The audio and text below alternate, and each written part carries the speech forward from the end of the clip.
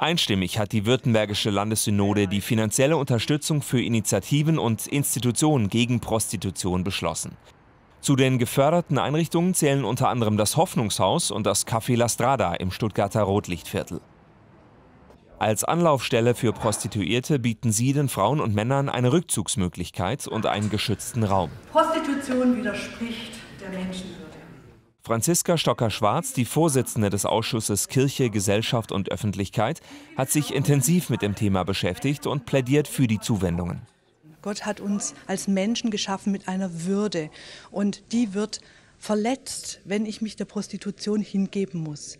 Es sind etliche Frauen, die hier zwangsweise eingeschleppt wurden, vielleicht unter falschen Versprechungen und sich in der Zwangsprostitution wiederfinden.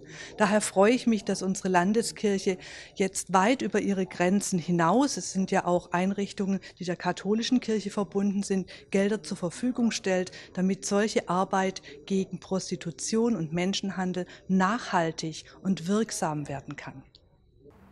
Im Zuge dessen sollen bestehende und neue Hilfsmöglichkeiten verstärkt unterstützt und ausgebaut werden, damit die Frauen Hilfe erfahren, die unter den Folgen des Sexkaufs leiden